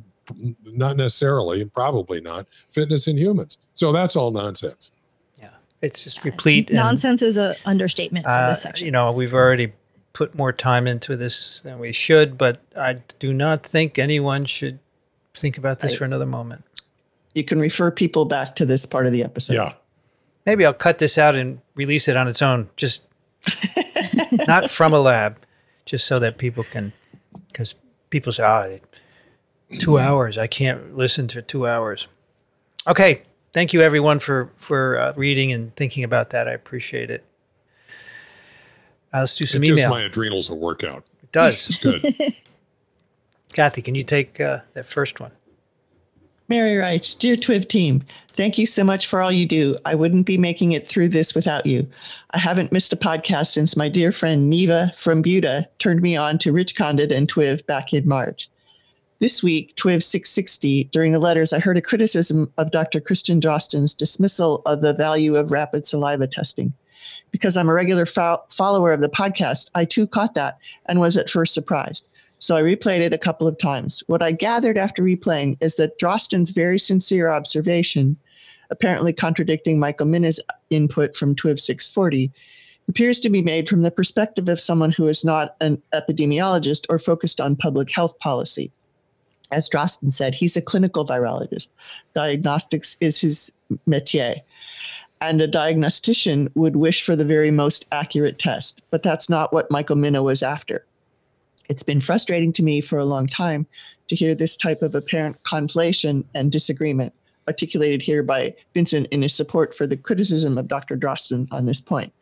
I think the conflation needs to be dispelled, and I have an idea I've been thinking about. It appears to me that there are two reasons for testing. The distinction between the two is huge, in my opinion. One, diagnosis for the purpose of treatment of an individual. Two, indication of infection or potential transmissibility in individuals for the purpose of public policy. But people don't know that there are these two distinct purposes. I'm betting that the first purpose is hugely important in every single person's mind on account of the scariness of this novel coronavirus. It sort of obliterates everything else. Am I infected? Will I get horribly sick and possibly die? Who doesn't want to know the answer to this question to the highest degree of accuracy? And I only want to know it once. But this highly accurate answer is completely irrelevant to a school superintendent who has to decide how his school district is going to operate this year, or to a corporate manager who has to decide how his company is going to operate, or to a governor who has to decide what closures to set or lift. The second purpose is vastly more important to our society and to the world, but it is so hard for people to wrap their minds around when they are naturally obsessed with the first. I think the TWIV can serve a valuable public service in the weeks and months ahead if you guys can clearly clarify the different purposes of testing. Vincent was right to join in the criticism of Drosten's dismissive reaction to rapid versus accurate testing. But the criticism assumes that Drosten knew which question he was answering. I don't think he did. Warm regards, Mary. P.S. My years working for a federal agency lead me to squirm at the criticisms of the federal agencies charged with administration of the response to COVID 19. There is no them. There are hundreds or even thousands of individual public employees who have the best interests of the public they serve at heart for the most part. Some public appointees who may not share that ethic have more power at certain agencies than they do at others. So I, I think the point that she makes about um, uh, what the question was and, and Drosten's mindset is it, it's well taken that he's thinking of it from a, a, pathology diagnostician point of view and that from that standpoint um, at the at that time uh, maybe saliva still wasn't seen to be as uh, indicative. But um, for and and for the situation in Germany where they don't have such a large uh, population of infected people as we do in the United States, they're looking for testing for different reasons. And we are trying to figure out, you know, we want to look at asymptomatic people, and saliva is going to give us a way to easily sample people and get to that answer. So I, I think I don't, I don't I like know. Uh, I don't know what what he was thinking. It's hard to guess, right? I would, sure. even though he says he's a, you know, clinical virologist, I think he's got a broader view of the whole problem than most. But I, I just don't know. This could be a reason. The idea that of, though of two different kinds of tests is absolutely spot on. There's diagnostic and there's screening tests, which is what Michael Min is talking about. I, yeah, I, have mm-hmm. we we I think we've said that. Yes, we've, co- we've sure. mentioned that. that. But I know yeah. that in other conversations I've had with outside of TWIV, um, that that's an important distinction that's being emphasized. That there's this is a screening test. It's not to figure out if you're sick or not. Yeah. But there are still a lot of people yeah. who aren't getting it. Oh, I mean, yeah. There was a big New York Times article yes, about it. Totally. Just, they don't get the difference. No, and, totally. And I heard I a federal. Mary, I think we can try, and our listeners can try to explain the difference if you want to use the smoke detector analogy or whatever. Uh, there's there's a um, so there's a, a, a czar of testing in the administration, right? I, I forgot his I forgot his name. Uh, yeah. Anyway, he said the other day this idea of everyone taking a, a rapid test is pie in the sky. I mean, that just shows you don't get it. It's not pie right. in the sky. Uh, by the way, the, the criticism of the agencies, you know, we have criticized CDC and so forth. But I think we always say we know people who work there and they're very good, and it's just the you know the the top level people that are having the issue. So I totally am with that. I mean, I know a lot of people at CDC. They're good scientists. I'm not talking about them for sure. I am talking about the directors who right you know and and those scientists you know they're going to be as frustrated as we are at the kinds of things that are happening with the leadership in the same way that the mm. rank and file State Department employees are probably frustrated with with those kinds of things. And these individual employees really don't have the opportunity to make much of a stand by resigning their positions because they need their positions one and two Yeah. There's sure. some rank and file member whose resignation is not going to have much of an effect so right. Yeah. While them doing their job well um, could be useful. exactly I keep going back to the conversation we had with, uh, was it Denise Eposi- Esposito? Mhm. Yeah. Um, who made the clear distinction that uh, the heads of these agencies are political appointees. I mean, they, they have science back appropriate.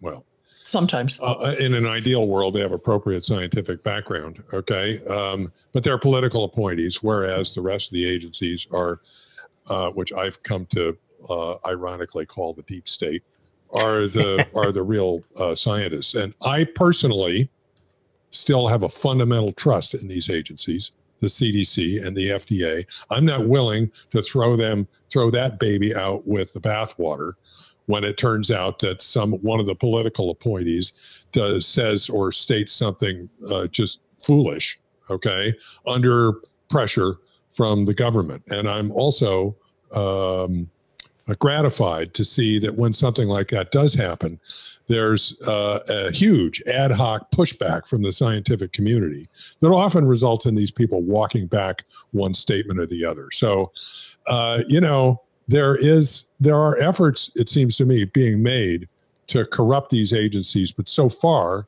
they haven't succeeded uh, in the long run. So uh, trust but verify. Okay? We have to be wary. We have to understand what's going on. We have to do whatever it takes to get rid of this political pressure and return these agencies to what they're intended to be. Okay uh, but in the meantime, I don't think the whole situation is corrupt at this point. I still fundamentally trust him. We just have to keep an eye on it, understand what's going on. on a personal note uh, mary had started writing to me sometime back in maybe june or i know on july 4th and uh, it's a fun correspondence and then she happened to mention in this letter uh, that she was turned on to twiv because of neva in buda and we met I met Neva at TWIV 500, and Rich met her long before that, before he even moved to Austin. And well, so- we all met her as Yeah. a correspondent early on in Yeah. the earliest days of TWIV. And when Yeah. you moved to Austin, then you sought her out, right? Well, actually, even before that, because Oh, yeah? remember, if you if you if you Google TWIV Buda, Yeah. uh, there's Buda's actually in a in a show title. Right. Neva kept writing us Twiv for uh, Neva from Buda, which Yeah. is spelled B U D A, Yeah. and one is prone to pronounce that as Buddha. But I knew because Buda's right next to where my daughter lives, and we visited there, Ah, that it was Buda. got it. And there was a whole conversation about it. It was the Buda arc. Yep. Okay, how you pronounce Buda. And there was so much of this that one time when we visited uh, Sarah in Austin long before we moved, I decided to engage Neva and go out to lunch. And we did that. And then that was before I even knew we were going to move. Now we moved here, and Neva's, you know, a good But buddy. Mary's not in. Uh, Mary's in- on the West Coast. Oh, okay. okay. yeah, she and yeah. Neva went to what, high school together, Kathy? yes, yes. Got it. So, in searching for this email, Kathy, to put in, I Mm-hmm. found that she's written uh, five or six other emails uh, as well, which we didn't get to. And, you know, I'm always amazed at the email. They're really great. For the most Mm-hmm. part, they have really, and I'm amazed at how well most people are writing, you know? Mhm. They write, they're very nicely written and they ask good questions. So I really appreciate that. We'll get to it. Mm-hmm. Uh, Brianne, can you take the next one? Sure. Jamie writes Hi, TWIV crew. I got sick in March before much was known about SARS CoV 2 and COVID. Well, other than a certain someone who had by then been told that this thing was deadlier than the flu, but didn't want to panic anyone. See what I did, Vincent? Didn't get political at all. I knew that I was sick and I looked for information. Found you guys and you became my new friends. I laughed at your banter and absorbed the info like a sponge. It tied me to the world that I couldn't experience for um, 91 days. So, some poetry, a haiku. Couldn't leave the bed. I coughed alone and scared. Twiv was my lifeline. Very good. And a freeform poem. Masks are cool. Just wear one. Don't be a fool. Before you speak of your rights, just remember those who lost their fights, those who wake up drenched in sweat from days of torture they can't forget. They found forms to write their wills in case they succumbed to their ills, cried out for someone to be there when they walked too far and gasped for air. For those who qualify for financial benefits if infected, but false negative tests left them rejected. For long hauler patients who long ago ran out of patience, whose doctors denied that something was wrong, and they tired of hearing that same song. Please wear the mask. It's not just for me that I ask. It's for others not yet left with lasting ick from a virus, the kind that makes you sick. Hmm. That's Lovely. outstanding. Lovely. Very good. I like that. Very good. And so Jolene, who does the timestamps, has volunteered to go through the email and post the verse that I forget to do from time to time, Oh, cool. which is great. And I and in, Thanks, Jolene. I just I don't know why I searched haiku in all the G in all the emails, thousands and thousands of emails, and there are a whole bunch that I still haven't read. So we got a lot more poetry, just haiku, and so this is great. It's going to be a wonderful microbe.tv slash twivverse. Very cool stuff. Um, Rich, can you take the next one? Anonymous writes Dear podcasters, in today's episode number 661 with Ralph Barrick and in the recent episode with Christian Drosten, you asked them what went wrong in the U.S. Rich also asked Professor Barrick about a quote middle way unquote that would allow the U.S. to manage the pandemic without the economy going completely belly up. That's when I thought I would provide you with a different view on that matter, and in the process, relay my impression on another thing that went right in Germany, adding to the factors Professor Drosten mentioned Merkel early testing.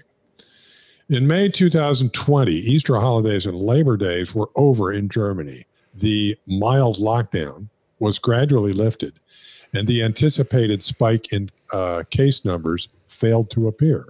This left everyone discussing how that could be and how to proceed and which value of the reproduction number to aim for. Most assumed that it would have to be a trade off between the economy and public health, aiming for RT of less than one would uh, benefit uh, health, public health, and be the prudent thing to do epidemiologically, but be detrimental to the economy. Many expected conflicts between social and employer friendly parties and organizations. The idea of reaching herd immunity was already shot down at that point by two statements of the National Academy of Sciences, uh, National Academy of Sciences Leopoldina, the director of the Koch Institute, uh, Lothar Weiler, and with the help of Christian Drosten and other science communications like uh, Mai Tai Nien Kim in April. Gives uh, footnotes and references to these. In this situation, on May 13th, 2020, the IFO Institute, an independent economics institute associated with the University of Munich, and the Helmholtz Center for Infectology came up with a co-joint study, and he's got a reference to that. That was widely spread in the news outlets after Christian Drosten devoted an episode of his podcast to it. Unfortunately, it is only available in German, but its main message can be easily explained using graph number three on page five. It shows modeled statistical projections of the monthly economic performance of Germany on the y axis in relation to time on the x axis, axis and five assumptions of the re, uh, reproduction number RT. Uh, and he specifies those. One, counterfactual. the, uh, the evidence doesn't exist. I'd probably use a different label for that. RT is 1.0, RT at 1.0, RT at 0.5, RT at 0.5, RT at 0.1. By the way, these are hypothetical reproduction numbers, okay, where one is that uh, a person infects one other individuals, and all these others are reducing a reproduction number to something less than that. The graphs show that it would be ideal for the economy to aim for an RT of 0.75, as that would allow the economy and society to gradually recover while keeping the initial recession relatively flat. What media and science communicators made of this was uh, made of this was the message: fight Corona or strengthen the economy, both. And RT 0.75 is the ideal value. So this is the bottom line. This is the idea of a middle way. I believe that from this point on, the whole society assumed this would be the new goal after flatten the curve, acted accordingly, and greatly benefited from doing so. Many people started to gaze at the numbers like deer stare at headlights, and what came of that is a different story.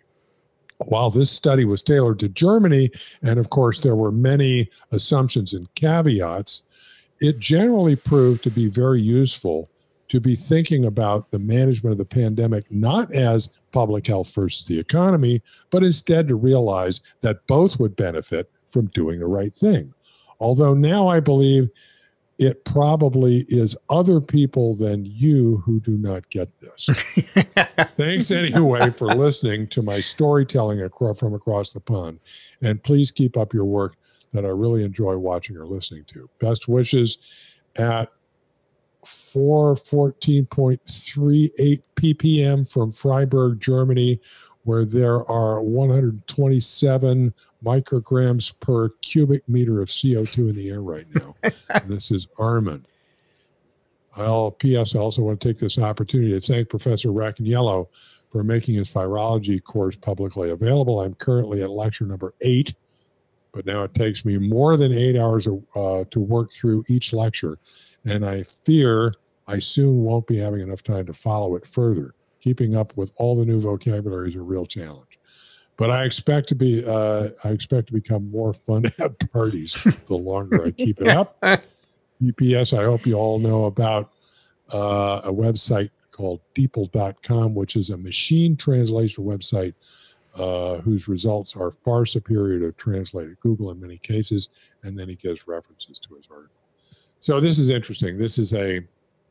Uh, I looked at this paper at one point, and you can, if you look at uh, the figure number three, uh, despite the German, more or less figure out what's going on. And it's a it's a model that finds the middle way between uh, you know public health measures and the economy and says we can we can do both. I think in a haphazard fashion, uh, we're finding that middle way mm. uh, in other cultures. I also think that a lot of this depends on what at the time you decide to uh, initiate appropriate practices, what the virus load is. Okay. If you start in a situation where your test positivity rate is 10%, you're not going to be able to accomplish this in the same fashion. I think your starting point is important. I don't know how you target 1.75, 0.5, and 0.1. It's and a model. I right? don't. And how do you say, okay, we're going to go for 0.75, whereas anything under one would be fine, right? Because yeah that's enough to stop an then it dies. And yeah. then I, I just remember what Christian said. He said Germany is not one country but many, and it's hard to get everyone to do the same thing. So, yeah. how did this work? I don't know. Anyway, there are a lot of good resources here. Um, I appreciate it. I just want to say to Armin that uh, if he keeps listening to your lectures, he's going to get to lectures that are about uh, evolution and things that we have talked about recently on TWIV. Yeah. So I think he'll find it a little bit easier. Yeah, the first 12 are hard. The, yes. the microbiology is hard, but then you get into, you know, pathogenesis. It's a little easier going and it may, you may find it more relevant. I would keep going if you can. Um, because it's Vincent, really, the people who take your course, uh, is, is some sort of molecular biology or biochemistry a prerequisite? Yeah, well, they're supposed to. Yeah, uh, they're supposed to have an advanced biology course. Uh, we have several at Columbia, but um, some don't. You know, there's no way to it, prevent registration if you don't have the prereq. Right. so, right. and many students well, plus will, you don't want to discourage it. People can. I don't want to discourage it, and people always ask Sometimes, me, you know, "I haven't taken this," and I said, "Well, go look at last year's look at a lecture from last year and see if it makes sense to you. And if you don't know the difference between translation and transcription, then you're going to have a problem. So, yeah, I mean, uh, RNA, DNA, protein, genetic code, transcription, translation. There's a lot of concepts and a lot of vocabulary. That's a lot, sure. In the long run, is not all that difficult, I don't think. But if you're starting from zero, it's a struggle. Yeah, for our students, we we do what I call front end loading the exams. we have the exams at the beginning of the course really often because there's so much new material, and then as the course progresses, uh, you know, you might have six or seven lectures covered on an exam, where the first exam we cover just four lectures. It's just hard new stuff for a lot of them, and even if they have had biochemistry or molecular biology, it's amazing how much they don't know about translation and yeah, DNA replication. Yeah. Uh, also, I mean, it's scary. They forget also very easily. That having been said, uh, I want to reemphasize it's not impossible. No, not okay? No, not and in the long run, conceptually, actually, it's quite straightforward. Okay. We are not special people. Okay. Anybody can do this. All right. Yeah. Yeah. It's, sure. it's not that you need to um, have some special understanding of transcription and translation. You just need to have thought about them slightly differently than you might have in an earlier course. Um, and so sometimes it just takes a little thinking um, to get that new um, mode of, sort of into your mind. You don't even really have to know any chemistry, right? It's it's Tinker Toys. A little bit, yeah. not right? too much. no, you don't have to know, know hardcore chemistry about how bonds form and all of that. SN1 and SN2, no. But like anything else, you know, the more you use it and think about it, the more you're going to remember. So we are special in the sense that we think about viruses every day, and so we remember stuff. And um, and, and me personally, I teach the same course every year, so I remember stuff that a lot of other people don't remember. And if you hear a lecture once and then forget about it for a year, you're not going to remember anything from it. So facility comes from familiarity and, and yeah. thinking about things. So it's hard. I know if it's not your job. DNA and the genetic code for 50 years. Yeah.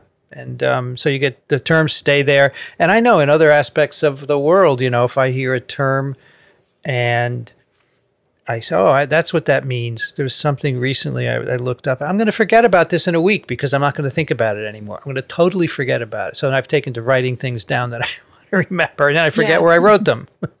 I, I like um, using the dictionary apps on my phone because when I go and look up the next word, the previous word that I looked up is still ah, there. cool. That's and good. oftentimes I look at it and say, I, I don't remember what that was. And so I try and learn it again. Yeah. But I wanted to point out Armin's footnote. Uh, there's this Germany's daily most watched TV show by Dr. Nguyen, in which Dr. Nguyen Kim had a comment and he said, You can let it be automatically translated. It's not perfect, but you'll get the message. Mr. Immunity means herd immunity. German word herden immunitat gets misinterpreted. That's so funny, isn't it? I love that. Yeah, I love herden. Herden, herden yeah. immunitat is a great word. well, because it would because it would be pronounced hair herden. Oh yes, hair right. So, so that's Mr. Immunity. Yes, that's cool. Okay. Uh, Justin writes emails offer a look into whistleblower charges of cronyism behind potential COVID 19 drug and sends a link to a science article by Jon Cohen and Charles Piller. And uh, this is all about, um, you know, the administration trying to push uh, money towards certain companies to move drugs forward. Uh, so here, for example, a, a top officer at a U.S. agency charged with accelerating the development of drugs for COVID 19 got a request uh, to give $300 to help develop a drug, but the contracting officer pushed back. And that episode, which had not been reported, is at the heart of just one of many allegations made by Rick Bright, who was removed on 20th April as, as head of BARDA. And so he was testifying about that and other things that were inappropriate, you know, attempts to push.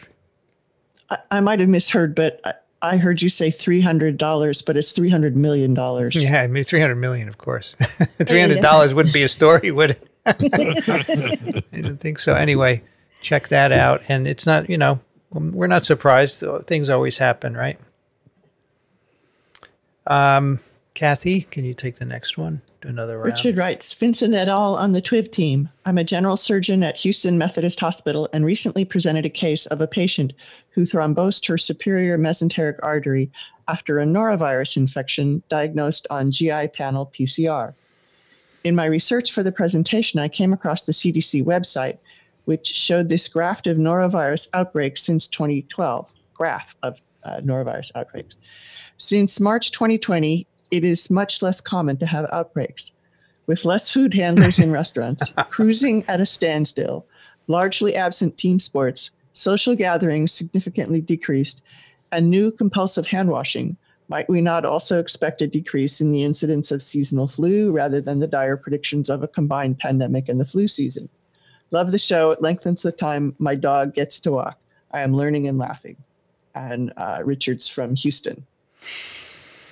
So, and then oh, we've got the graph pasted in here showing uh, a significantly lower incidence of norovirus outbreaks starting around the middle of March Mm. of 2020 relative to 2018 and 2019. So, yeah, uh, Richard, it's something that we've talked about a couple of times before. Uh, would this change the outlook of seasonal flu? And I think if everybody was wearing masks and was staying home and was physically distancing and so forth, we might think that there would be a decrease Hmm. in the seasonal flu, but there's a lot of concern that that's not going to be the case. And so there's a real push for everybody to get their flu shots because it'll be, they're working on uh, diagnostic tests that'll be able to tell between uh, SARS CoV 2 and influenza. Um, but uh, yeah, I think we'll just have to see. It will be interesting. I think I think- Epidemiologists are going to uh, coast on this stuff for years to come. I, I think there's some data of um, a reduced flu season in Australia um, earlier this year. Um, and um, so, if perhaps everyone were to comply, as Kathy said, um, then we might expect that. Um, the question is whether everyone will comply. Yeah, and in, school openings and so forth, you know, it's kind of heterogeneous across the country. Some places schools are in person, other places not. I think it's going to depend. Be interesting to see, though. I know so far we have expected an outbreak of EV enterovirus 68 uh, associated acute flaccid myelitis. Now they they have been occurring every two years, 2014, 16, and 18, starting in July, August, moving into the fall. And so, and you can go on the CDC website and see the reporting. So far this year, we have not seen an uptick uh, that should be here. We're in September already, and it's not. Now, CDC is apparently six months behind in, in reporting of this, so it could be just a reporting delay, but we'll see. It could be that the kids, because they're not, and this is a kid disease, a childhood paralysis, so we'll see. It's very interesting. Yes, there will be um, a field day for epidemiologists for sure. There's a uh, uh, in there's a significant dog arc in the uh, email. There's a lot of dogs, Yeah, dog walking. a lot of dogs that are benefiting from TWIV. Oh, by the way, speaking of masks, so this morning I'm walking in. I wear my mask on the street because you're supposed to wear masks in public. And I see people, they're wearing them under their chin, and then they Ah, get close to you and they slip them up. No, that doesn't work. Keep it on. The whole point is it's it's going to be potentially contaminated, and if you slip it down under your chin, you touch it, it's no good. What's the problem with leaving it on in public and then carefully removing it when you're inside? Right? And people right? who wear the mask below their nose, you know. I Yeah, mean, that this too. is common sense. Yeah, But I see someone Yeah. this morning. She had it under her chin, and then as I approached her, she pulled it up, and it's like, what? And I, I saw I saw her, and I purposefully looked at her with my with my glare because I had my mask on. I don't know if you can see a glare under a mask, but it's like, and then she quickly pulled it up. But why are you wearing it below? You shouldn't. That's increasing the self contamination. So you shouldn't do that. Uh, Brianne, you take the next one. Pamela writes Today in the New York Times, there was an article on the possibility of developing some immunity to COVID 19 by mask wearing. because you may get tiny doses of the virus through the mask, but not enough to make you sick. You become asymptomatic and then immune. I think they called it variolation or something like that. Could you discuss this? Thanks, Rich, Pam. Rich, is that the right word for this? No, this drives me crazy. uh, just, just, uh, uh, it's almost off topic, but you know, it's halfway interesting. Variolation refers to uh, a procedure that was developed. Mm, God, I get, I think you can go all the way back to the 10th century AD. Uh, but uh, actually, it's a pre pre vaccination, pre Jennerian uh, procedure for uh, essentially immunizing against smallpox. And what it consists of is taking material from the from a pustular lesion from a smallpox vic- a victim and scratching it into someone's skin and they get a localized uh, disease that's really nasty uh, and it immunizes them against it's called variolation because the disease the disease was called variola okay and uh, uh, they get a really nasty local reaction and it has a mm, uh, mortality rate of about 1%, but smallpox had a mortality rate of about 30%. So you're increasing your survivability by about 30 fold. Okay. um, was ultimately replaced by vaccination. But, uh, you know, I think it's almost time to do another smallpox episode and show some really, show people what infectious disease really looks like. Okay. Rich, why uh, would they? Why would they About appropriate? as nasty. Why would why would they appropriate variolation for this idea? I just don't understand. I, it's just nonsense. I mean, but Brian, the whole idea that tiny tiny doses is going to give you immunity. What do you think about that? I don't really think that that um, makes a whole lot of sense. And I don't think that we have evidence um, with this virus that a, there's a small dose that leads you to not get sick. Right. Um, I don't think that there there's a, a big um, effect of dose that we've seen thus far in terms of um, what happens in your uh, infection and what kind of disease you might get.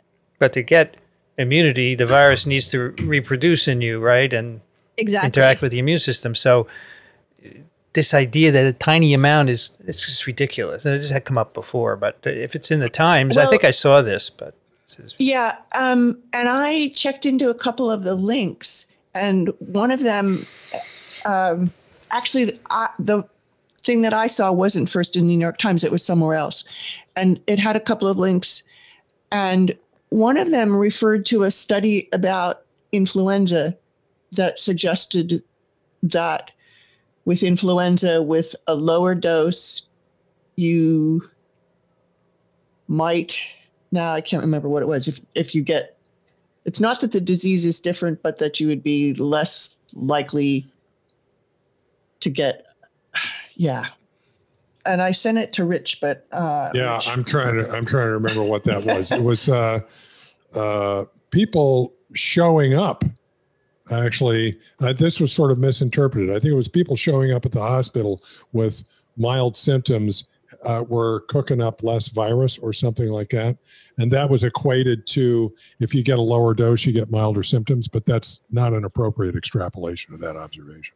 Right. And I, I think that we have not seen the same thing with SARS CoV 2. Yeah. So, I, if I remember correctly, when we look at asymptomatic people, um, they have similar amounts of virus um, to uh, people with disease. And so, even if that w- was an extrapolation you could make, which it is not, um, the same data is not present for SARS CoV 2.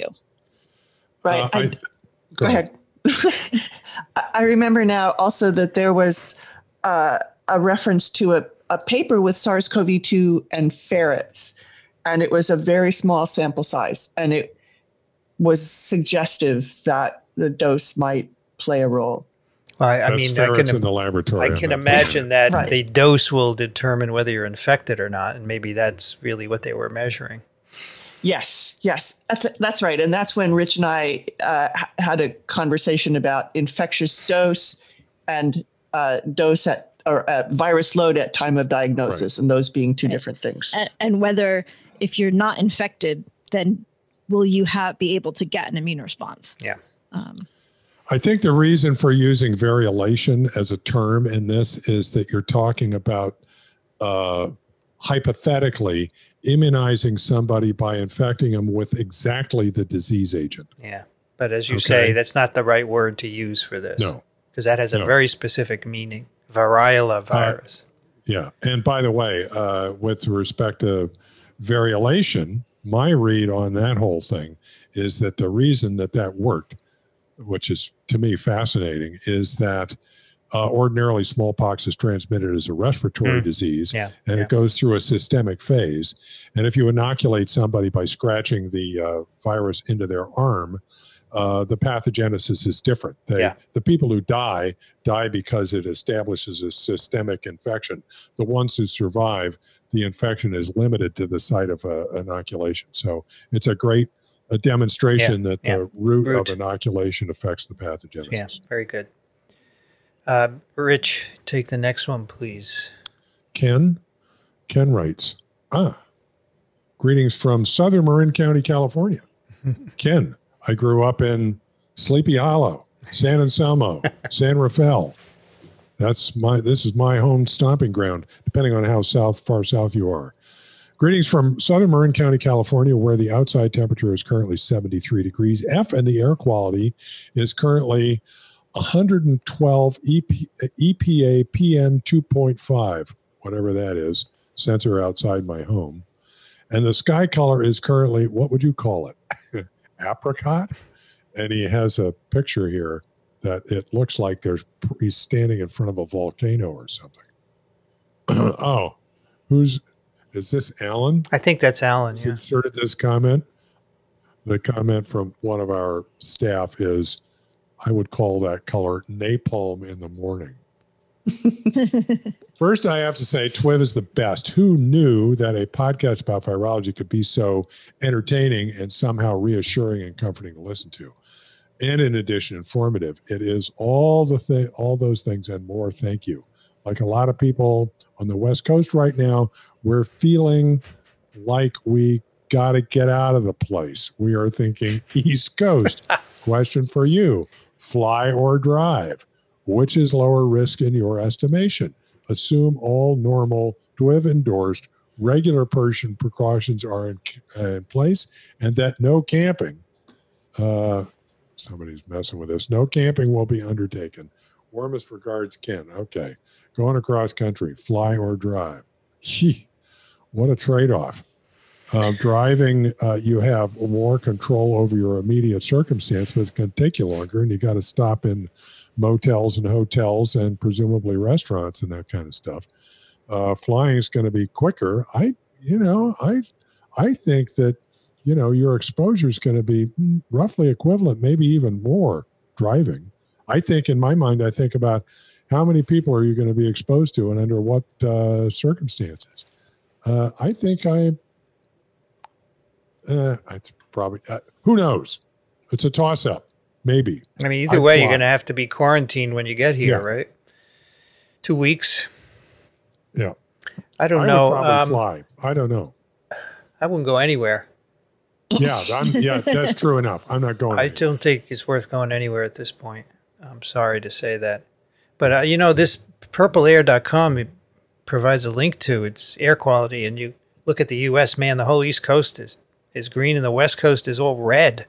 Wow, you guys see that? It's really distinctive. Yeah, it's amazing. Hmm. I've never seen that before. Yeah, things are bad out there. I'm sorry, um, but um, yeah, I would not fly or drive out here. Don't come. Just stay put for a while. I'm sorry about that. All right, one more here. Greg writes, Hi, Twivers. Weather in Seattle, high of 84, sunny with a hint of wildfires, 77 new cases of COVID 19 per 100,000 over the last two weeks per King County's excellent dashboard. Thank you for your work in building a bridge across the moat, which stands for Miasma of Anti-Think, M O A T, so that we might hmm. defeat the crowned virus in its capsid castle. That's really good. Excellent. It's be- poetic. Could be a title: "The Crown written- Virus It's more as a prose, but yeah. Immunity Certificates." I've been an avid listener of TWIV since March. I was quite taken by Brianne's Brianalysis and Alan's alambasting of immunity passports in 603. I really love that, Greg. I might be stealing that. I don't know. You might want to put another N in there so it doesn't look like Brian, right? I, I could definitely put another. Put N another there. Brie analysis. Yeah. Interlude haiku. Racaniello, please. Testify, Twiv, your beliefs. The truth, the truth must have teeth. Cool. Very good. Brianne and Alan suggested that the perverse incentive created by immunity passports could cause some folks to intentionally seek infection if doing so gave them greater access to jobs or social opportunities. But some quite intelligent people stop. I don't care how intelligent people are, they all make mistakes, okay? So people always say, oh, this person is really smart, they're a doctor, they're a PhD. They can still say stupid things. Okay, that was my interlude. Sorry. so I'm quite Turn intelligent. into a haiku, Vincent. I don't know if I've ever written a haiku. I- It's too subtle for me. But some quite intelligent people have been in favor of some form of immunity passports. If I were Tony Fauci, I'd say, I don't care. Didn't you say Yeah. that when he testified? Isn't it peer reviewed? Yeah. I don't Yeah. care. Right. As expressed in a JAMA viewpoint by Ezekiel Emanuel, bioethicist at UPenn and NIH, it might be reasonable to require immunity certification for employment at elder care facilities or in other limited high risk situations. Let me just pause here and say what if immunity doesn't confer immunity to infection and you can still shed and infect these people? So, what good is an immunity passport, Ezekiel? Sorry, I promised I wouldn't yell anymore. No, you don't have to apologize for that. That's uh, That's good. That's, that's good. Uh, that's uh, what? That's the truth with teeth. Well, you know, Ezekiel hasn't thought about this. I the difference between infection immunity and disease immunity. I'm sure, so Right. uh, I can understand that. Of course, the ideal answer is Mina's style frequent rapid testing. Yes, but if that fails to materialize, it will materialize, and technical issues around correlates of immunity and serology testing specificity are resolved. Good luck with that. It seems plausible to me that the immunity passport debate could resurface, particularly if there are significant delays in developing an effective vaccine. But what about this perverse incentive issue? Would people actually intentionally seek out infection? Where when smart people disagree on theory, we look to data. Professionally, I work with a team of thoughtful and socially minded software engineers to build an intuitive statistical analysis tool. I'm sorry, intuitive statistical analysis makes me laugh. Yeah, that's an oxymoron. Stats IQ. Our team decided to investigate. We surveyed a representative group of 1,000 Americans on whether they would intentionally seek out infection in order to earn an immunity passport. All right, let's see. 11% of adults, US adults, say they would probably or definitely seek infection if that was required to maintain or access employment at an elder care facility. 13% of US adults would do so just to visit elder care facilities. 14% would do so to go to gatherings greater than 25 people. And I guess the rest said no, right? Of these I 11. would assume 13. so. Yeah. Those are not all the same people saying yes each time. So, in some, more than one in five Americans would seek out infection for one benefit or another. Okay. That willingness to seek infection was concentrated in the young, quite predictably, and for employment related questions, at least in the economically insecure, quite depressingly. Yes. And then for that reason, we shouldn't do it because they will seek it disproportionately, right? Right. Right. And I would assume that these numbers would change as time goes on Yeah. and Mhm. um, you know, people are going longer without all of these things. Political le- leanings were not correlated with this willingness, at least after controlling for other factors. It's quite interesting. It- yep, that's interesting. I was open minded initially, but now quite convinced that immunity passports should not be implemented. Hopefully, this research serves as a nail in the coffin of that idea. Nah, never, nothing serves in the nail of coffin of anything, but I think it's really interesting that you did that. If anyone's interested in learning more or playing around with the data we collected, just search for Stats IQ Immunity Passport Study, and he gives a link to the results and to the data. Uh, parting thoughts most of us can quickly call to mind the face of a nurse or other medical professional we know. And for all our society's flaws, the vast majority of us can intuitively appreciate their contributions in this dark time. But to many of us, scientists are often faceless, removed, even abstract. Thank you for putting a face on science, for showing us its humanity. We're all in this together. Greg, and, he has a link to more about him, and then some footnotes. In case any Twivers look at the article, I need to defend our terminology. In the survey, we used the phrase the COVID 19 virus. and we were worried that some folks would not know the term SARS CoV 2. We think it's reasonable to call it COVID 19 virus, the virus that causes COVID 19, just as one might talk about flu season, the season that causes increase in flu.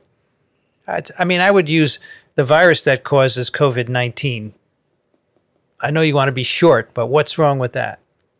Well, well people say the AIDS virus. The AIDS virus. So by analogy. I guess. Yeah. Yeah. This means the virus that causes AIDS. Yep. Uh, Kathy, can you get, I guess you could get infected with the AIDS virus. Yeah. Right. Because you're mm-hmm. saying the virus that causes AIDS. Yeah.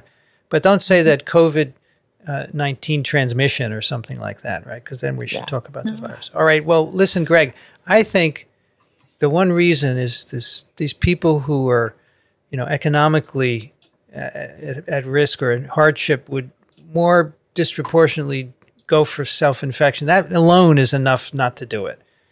But unfortunately, and I have to tread on on thin ice here.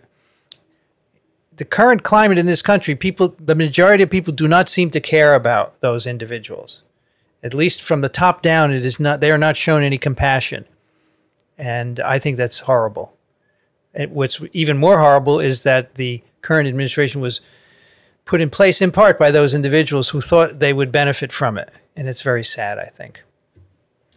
But I don't want to be political because I don't want politicians messing with our science. And so I should not mess with their politics unless it messes with our science. So you see, we're going around in a circle there. and that's a good time to stop this TWIV. Yes, uh, Kathy. I, w- I want to go back to the uh, okay thing yeah, about yeah. the masks and conferring immunity if you get uh, yeah uh, and because you might get a low dose and so that was a commentary that was published in the New England Journal of Medicine. I haven't read the commentary, but the original article I saw was in the Telegraph, and then that led to one that talked about infectious dose uh, and how that might lead to disease or not, and um, and so I've pasted those links in, and that's why the text was changing when Rich was trying to read. But basically, the commentary in the New England Journal of Medicine is just totally speculative. And it's based a little bit on this ferret data and a little bit on this 2010 study of influenza that showed that there was a relationship between infectious dose of the virus and patient outcomes. But that's we, we don't have any data for that at mm-hmm. this point. Okay. Very good.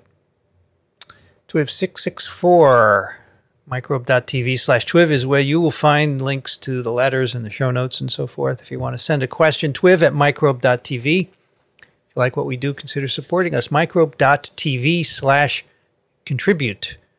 Kathy Spindler's at the University of Michigan in Ann Arbor. Thanks, Kathy. Thank you. This is a lot of fun. And look, Kathy has a new camera, a new computer. Look at that. Yes. Doesn't it look great for those of you yes. watching? it really is good. And your red sweater is perfect yeah. pop there. Really yeah. nice job. Um, so the, the new the, camera is thanks to people who've donated to yep. TWIV because thanks they don't you. come free. Thanks to you, uh, we were able to buy Kathy a new camera, and she bought herself a new computer. So thank you, Kathy, for wanting to improve the sound. And and there's no more of the weird pinging that we used to get because that apparently was the slow computer. And so great. And next we will work on Richard. You're not too bad looking, but we'll get you a, a webcam. I got one for you. Uh, yeah, a webcam isn't going to improve this any. well, the webcam has a wider field of view, so you'll be back a little. See, Kathy now is a little farther yeah. back, and you will yeah. be too. And um, but uh, yeah, you, you don't need improvement, man. You look great.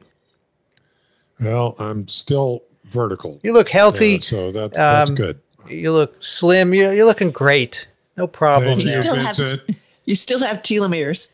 Still have telomeres. And you have a little bit of bone marrow somewhere. Brianne Barker is over at uh, Drew University. I'm BioProf Barker on the Twitter. Thank you, Brianne. Thanks. It was great to be here. What's the big poster behind you? Is that a poster? Um, it, it is a poster of uh, Jackson Pollock painting. Oh, I, lo- I, love Jackson Pollock. I do too. One of the few Jackson artists Pollock I is my favorite. understand. I get it. I get his I painting. do too. And none of the, many of the others I don't get it, but him I get it. Eh, what a sad life, unfortunately.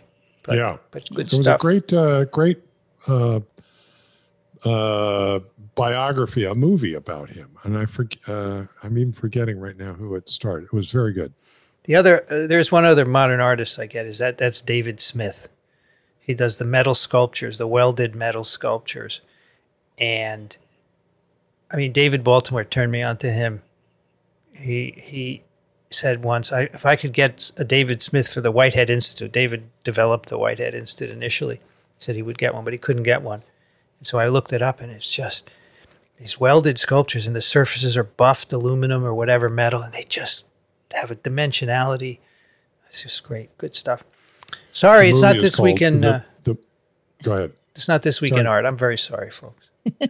The movie is. It, we- it's this weekend. everything. Yeah. We. Tweet. Uh, the movie is called Pollock, and it starts uh, stars Ed Harris. Yeah. I just remember Really seeing good. a, a movie of the actual Jackson. He's, he's in the garage with a brush flicking stuff over. And then you look at this. He says, yeah, I see that. It's That rhythm is there. It's so good. Really like. All right. Sorry about I, I know some people hate it when we diverge. I'm so sorry. Not. Yeah, but a lot of people love it.